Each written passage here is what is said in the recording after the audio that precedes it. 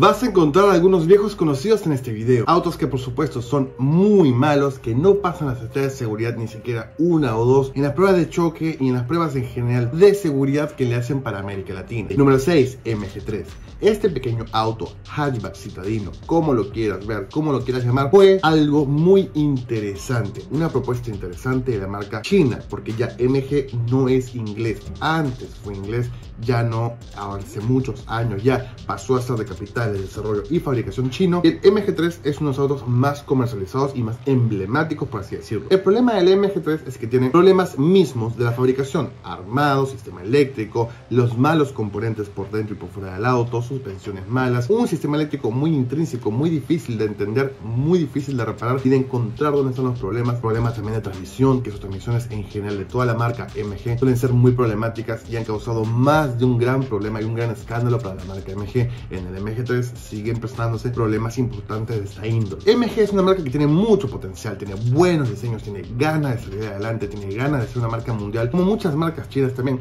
pero también como muchas de las otras marcas chinas que quieren venderse en el mundo, tienen que seguir avanzando, tienen que seguir desarrollando. imagino que en China habrán repuestos muchos para sus autos, buena mano de obra calificada, pero por lo menos en América Latina que está tan lejos, no nos llegan tantos repuestos, no nos llega tanta mano de obra calificada o por lo menos esa clase de motores o sistemas temas que son nuevos para nosotros, tal vez no nos conocemos mucho, a pesar de que sean autos simples, no se no sabe mucho cómo funcionan y qué tipo de mecánica, ingeniería o tecnología tengan para que puedan durar. Generalmente sus plásticos, sus metales son de muy baja calidad, son de muy baja resistencia y esto hace que tengan cada vez más problemas al pasar los años especialmente. Y es por esto que hay que tener mucho cuidado con las industrias nuevas, las nuevas fábricas en general, no solo China, sino del mundo y además también con una marca que ha venido trayendo problemas y un modelo que ha venido siendo problemático en los últimos tiempos como el MG3. Número 5, Toyota Agya o Agia, como lo quieras llamar. Este auto tiene un precio base aproximado de 9 mil, 10 mil u 11 mil dólares dependiendo de donde ubiques y es un auto que sabemos que es Toyota, sabemos que va a resistir, que tiene buenas calidades en su motor, buenos metales, buenos plásticos y todo lo demás bueno, pero lamentablemente es un auto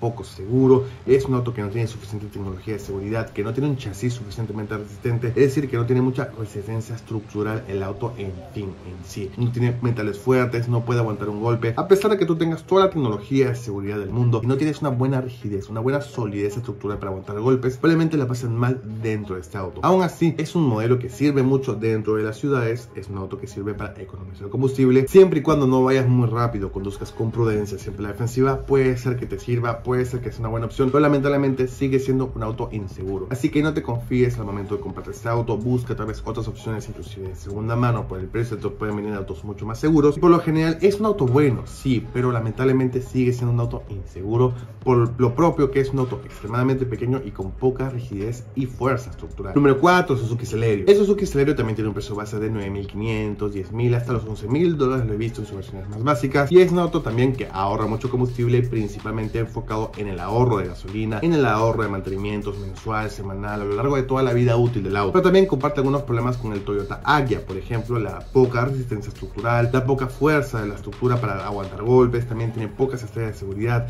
no tiene mucha tecnología, ni de entretenimiento, ni de seguridad. Es un auto que tal vez podrías evitar, porque en otros países no se vende, en América tampoco debería venderse, pero se comercializa, se vende y mucha gente es feliz con este auto. Aún así considero que o lo dejan de vender como es y lo mejoran, o simplemente de plano lo dejan de vender con nuevas regulaciones que eviten que autos tan malos y inseguros lleguen a América Latina. Veamos qué le pasa en el futuro a Suzuki Celerio y a todos los demás autos de este conteo. Número 3, Chevrolet Sail o Aveo, como lo quieras llamar. Este auto tiene un precio base de 13.000, 13.500 dólares, también a veces menos dependiendo de tu ubiques, pero es un auto también que deja mucho que desear en temas de potencia, de resistencia, de seguridad, sobre todo porque por muchos años fue uno de los autos, si es que no fue el top, uno de los autos más inseguros que se venden y se vendían en América Latina. Es un auto bastante inseguro, uno, dos o tres estrellas de seguridad para los adultos en la parte delantera y menos todavía para los niños en la parte trasera, hacen de este auto un auto dudable, un auto que vez tengas que pensar muy bien antes de comprarlo, de adquirirlo, por más que sea muy grande la necesidad de un auto, tal vez puedas buscar otras opciones más seguras, porque la seguridad debe ser todo en un auto. Este modelo es muy popular también en América Latina, muy querido y muy respetado por muchas personas porque los ayuda a seguir adelante,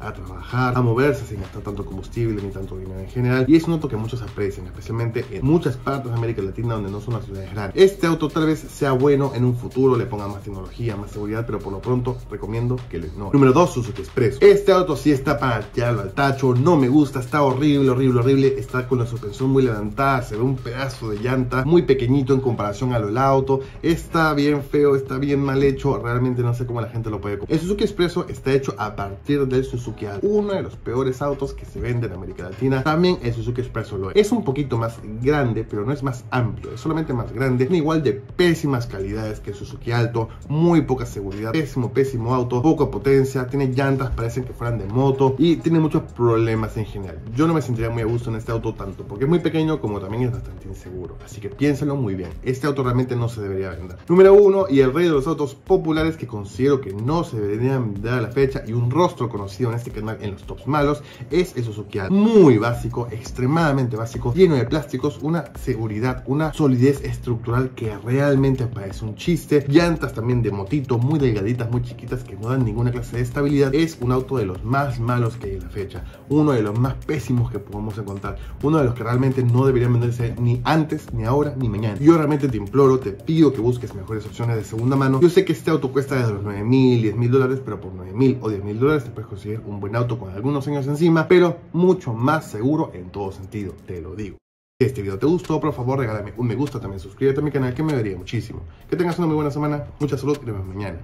Chao. Hola muchachos, sean todos ustedes bienvenidos a un nuevo video en el canal. Mi nombre es Franco, con ustedes acompañándolos el día de hoy. Aquí abajo vas a encontrar mi Instagram oficial para que puedas seguirme y podamos conversar por ahí de manera más directa. Me puedas comentar tus dudas y yo siempre te puedo responder de una manera más rápida. Sígueme que siempre ayuda. Muchachos, síganme en mi otro canal, aquí abajo en la descripción de este video vas a encontrar un link directo. Voy a hablar de noticias un poquito más relajadas de los autos, cosas que me gustan, cosas de las que estoy de acuerdo, cosas de las que tal vez no estoy de acuerdo, pero que todo vale. Videos más cortitos, más tipo de conversación y además también más tipo de opinión, ustedes y mí. Así que vayan a checar lo que está bastante interesante. Hola cracks, solamente para informarte que ahora tenemos un programa de membresías bastante increíble en el canal. Puedes tener acceso anticipado a los videos que todavía nadie ha visto. Podemos conversar de manera directa por WhatsApp, Discord o cualquier otra red social que tengamos oficiales. También podemos jugar cualquier juego que esté de moda. Estos son algunos nada más de los beneficios que te da ser miembro del canal por una pequeña contribución al proyecto este tan grande que tenemos. Además, si vienen regalos y merchandising exclusivo para todos ustedes, gratuito solamente siendo miembro del canal en cualquiera de los niveles.